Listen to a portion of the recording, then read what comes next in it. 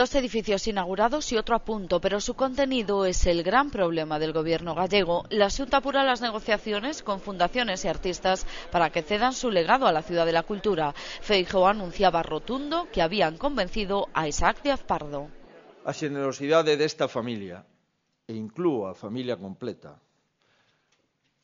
fai que hoxe podamos anunciar que o legado de Isaac Díaz Pardo será custodiado para sempre na Cidade da Cultura. El anuncio sorprendió a la mujer y los hijos del pintor que echaron por tierra esa contundencia. No, no, no, no, no. de momento no hay. Hay negociaciones, pero no acuerdo. La familia reconoce que existen problemas. Hai sectores da familia que non están de acordo con eso, porque supón unha certa desgregación da súa obra. Eh, e nós estamos traballando en outra dirección, de xuntar a obra non desgregada. Non?